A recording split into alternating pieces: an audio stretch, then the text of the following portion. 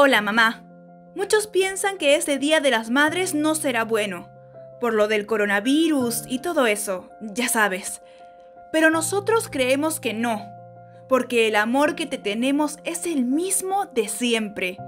Lo que sí es cierto es que este año te admiramos más que nunca, porque mientras nosotros nos quedamos en casa, tú sales, armada de valor y cargada con tu mejor sonrisa, para cuidar a otros niños que no son tuyos, pero como si lo fueran.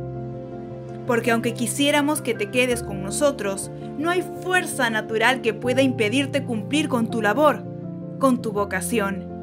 Porque cuando estás de turno en el hospital pendiente de tus pequeños pacientes, no dejas de pensar en nosotros y en los abuelos.